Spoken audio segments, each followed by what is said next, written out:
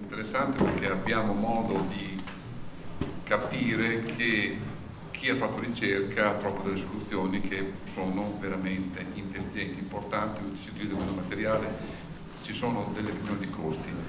Le riduzioni di costi che in Italia non avvengono mai perché non, eh, non abbiamo messo in mano alla ricerca dei sistemi che possono ridurre quelli che sono i costi e l'utilizzo del materiale e quindi ci troviamo sempre a essere di una modalità antica di costruire. Io mi ricordo, se, se appena è pronto, già, pronto, mi ricordo quando uscì il legno lamellare, in Italia non si utilizzava perché era un macello, a un certo momento il legno lamellare si mette anche dove non ci vuole perché noi siamo fatti così, abbiamo questa modalità di abitudine e l'abitudine non si cambia. Prego per quanto riguarda il sedamento e altre efficienze, vediamo un attimo che punto siete arrivati. Buongiorno a tutti, mi chiamo Rosario Fiorentino, lavoro in Sciuco e mi occupo di assistenza tecnica agli studi di progettazione, alle imprese di costruzione e a chiunque debba fare dei cantieri.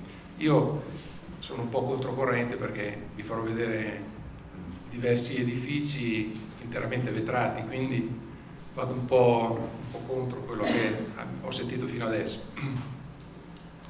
Ho impostato la mia, la mia presentazione con una, una, brevissima presentazione di chi è Sciuco, perché anche se è un marchio molto conosciuto eh, vi faccio vedere alcune precisazioni, dopodiché so, ho in, in, improntato alcune fotografie di, degli ultimi cantieri che abbiamo realizzato, ho inserito anche dei filmati e, ehm, così anche per alleggerire un attimo la presentazione perché la, il tema è molto vasto e i 15 minuti passano veloci.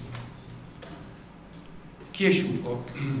Sciuco è un'azienda tedesca, nasce nel 1950 in Germania dall'intuizione di un piccolo seramitista che era noto all'epoca soprattutto per realizzare vetrine per negozi. Il signor Schurman, che era il titolare di questa piccola azienda, poco più di un fabbro, realizzava, come, come ho detto, delle vetrine di negozi. Ebbe l'intuizione nella, nella, sua, nella, sua, attività lavorativa di creare eh, una, un sistema, cioè non solo eh, realizzare e acquistare dei profili in alluminio, ma anche progettare per questi sistemi anche i relativi accessori ed è quello che ci contraddistingue tuttora, perché nei sistemi Sciuco, a differenza magari di altri sistemi, eh, non è possibile acquistare i profili e poi montare accessori generici, ma sui profili Sciuco vanno montati solamente gli accessori originali Sciuco. Questo normalmente fa sì che un serramento Sciuco duri negli anni, direi piuttosto magari ad altri sistemi. L'evoluzione dell'azienda direi che è stata costante, eh, negli anni 80 eh, si è arrivati anche in Italia, eh, dove noi siamo presenti da diversi anni. L'evoluzione anche del marchio Sciuco, come vedete qui da queste immagini c'è stata nel corso degli anni anche legata a discorsi di marketing. Noi però in Italia siamo, come Sciuco Italia, per il gruppo il, il terzo paese, dopo la, chiaramente la Germania, dopo la Francia, a livello di fatturato viene l'Italia. In Italia noi siamo basati a Padova, dove c'è il nostro quartiere generale, siamo circa 170 dipendenti.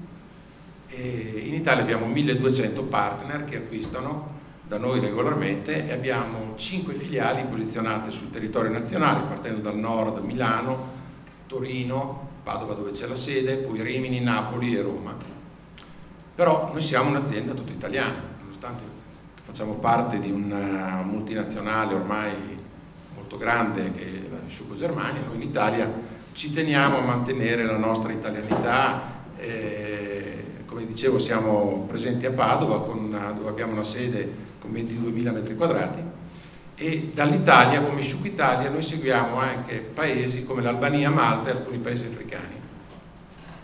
I valori aziendali non è uno slogan, ma è per noi la quotidianità a cui ci riferiamo sono l'innovazione, la partnership, l'eccellenza e la responsabilità. Innovazione perché noi siamo un po' l'azienda di riferimento nel settore degli involucri, quindi siamo costantemente alla ricerca di nuovi sistemi, di progettazioni eh, spinte anche, eh, questo quotidianamente.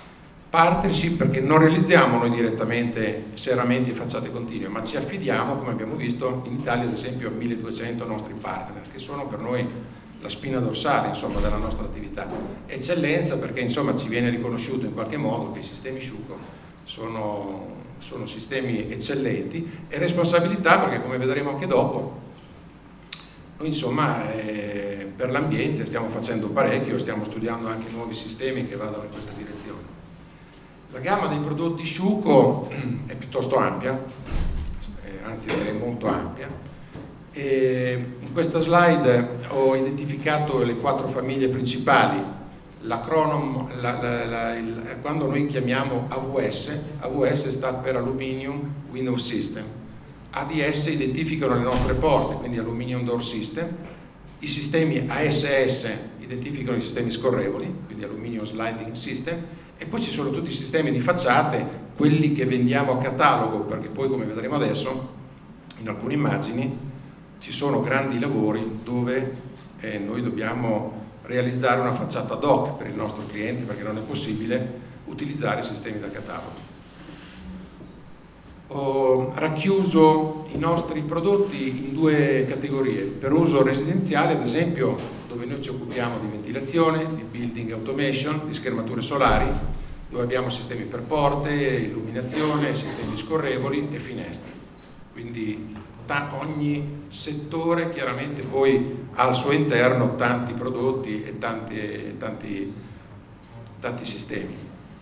Per quello che riguarda invece l'uso commerciale eh, abbiamo dei sistemi di ventilazione, schermature solari anche in questo caso, evacuazioni, eh, sistemi per eh, evacuatori fumo e calore e poi sistemi di facciate continue direi piuttosto, piuttosto anche eh, evoluti. Ho racchiuso qui alcune nostre ultime realizzazioni che magari conoscete bene, ma ad esempio qui siamo City Life a Milano dove abbiamo realizzato le residenze di Zadid e quelle di Lindeskid. Si tratta di 13 edifici dove la componente serramento è stata studiata ad hoc per questi lavori. Qui non abbiamo potuto attingere a nessun tipo di catalogo, di, di profili da catalogo perché gli architetti hanno voluto personalizzare eh, i sistemi.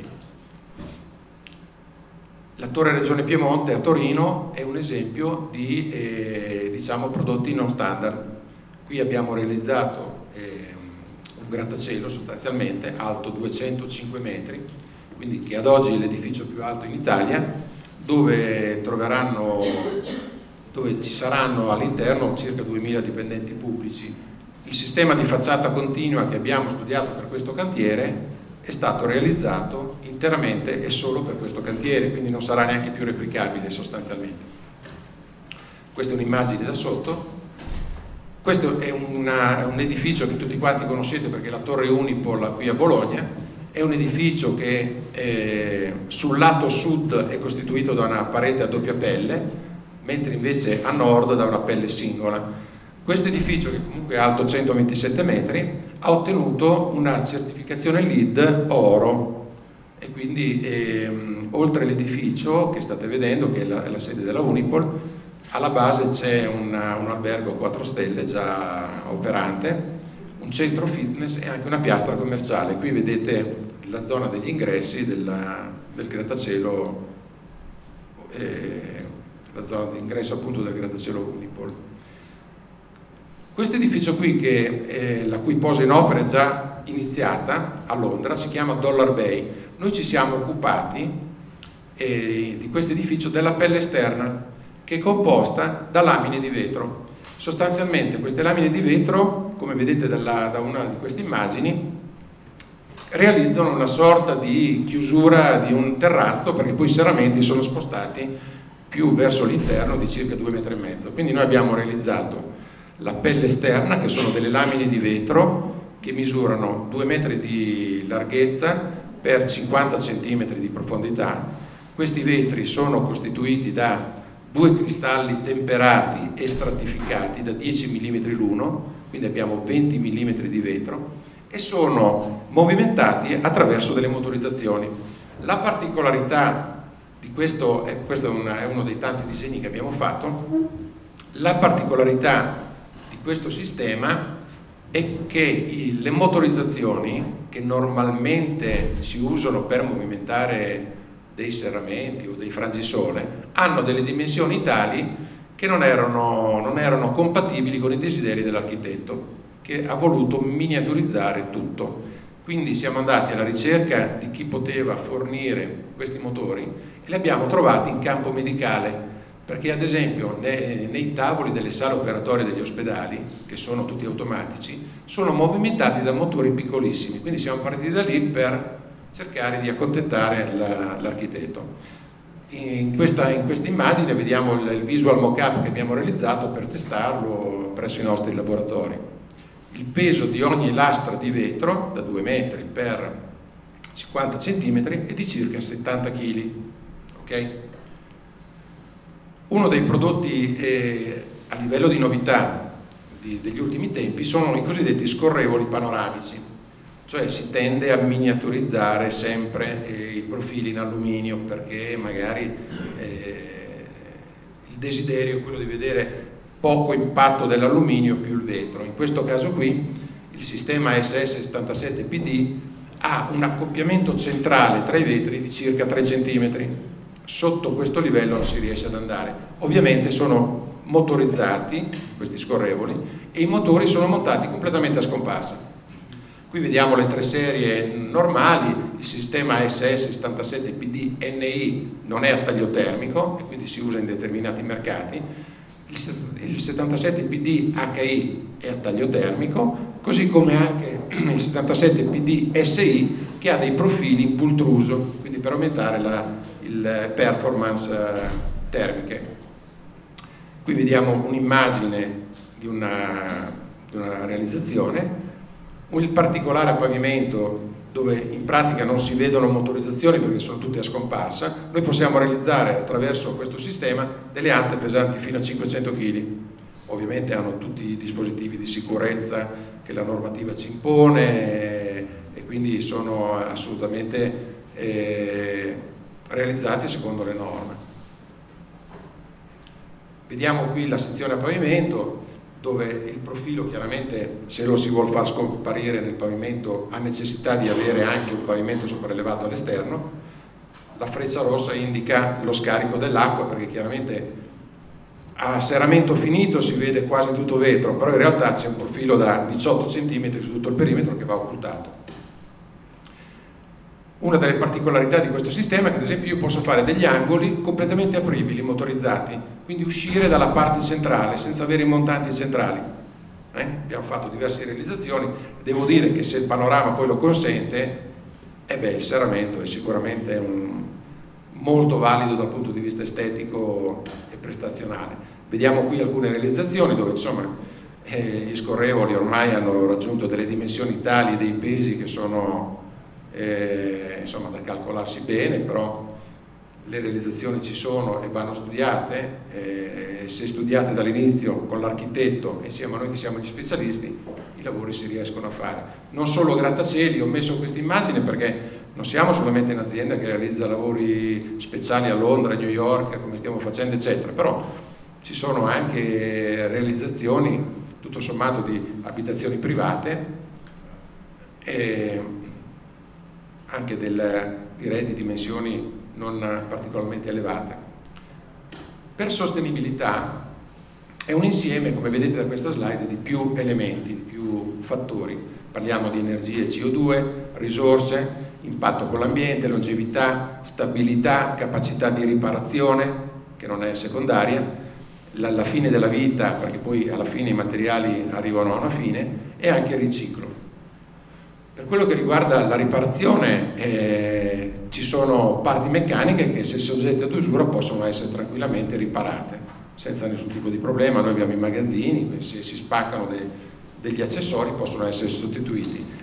A fine, a fine vita eh, il serramento in alluminio deve, può essere rinnovato, può essere smontato e portato eh, attraverso aziende specializzate, può essere riciclato può essere riciclato all'infinito perché l'alluminio si ricicla molto facilmente e quindi essere, eh, possono essere riestrusi infinite volte.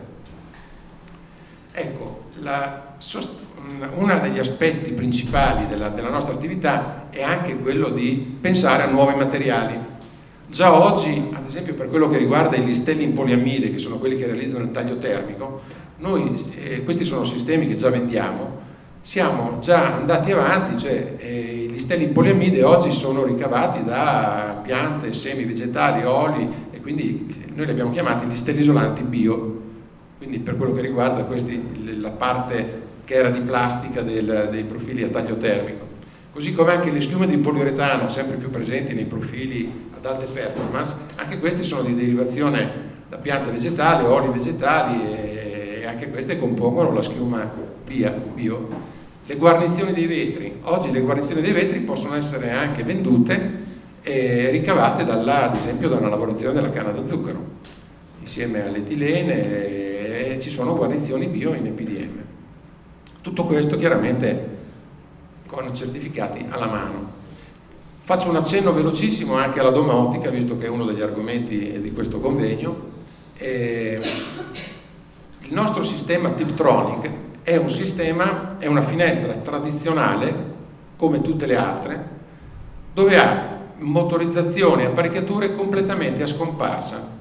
Cioè, quindi con, questo, con questi sistemi che a finestra chiusa sembra una finestra tradizionale, eh, aprendole invece si vede come nelle parti verticali siano nascoste, quindi non visibili, tutto, tutto quello che riguarda l'apparecchiatura la, la, per movimentare le, le finestre. Tutto scorre all'interno dei profili, i cavi, non c'è nessuna fresatura, ci sono ad esempio la protezione antischiacciamento, anche quella nascosta nel profilo, quindi si può realizzare una finestra tradizionale o una finestra, una finestra meccatronica con lo stesso identico profilo in alluminio. La, questi sistemi ormai che sono di uso corrente sono, possono essere utilizzati pressoché dappertutto senza nessun tipo di problematica, possono essere anche costituiti da soluzioni radio dove ad esempio abbiamo un pulsante alla parete e un telecomando possono essere aperte e chiuse anche da tablet oggi, da cellulari, possono essere, eh, ad esempio si possono realizzare dei piccoli gruppi per la gestione o dei gruppi più numerosi, sempre con l'utilizzo di comandi a parete oppure telecomandi, come vi dicevo, ehm, anche magari utilizzando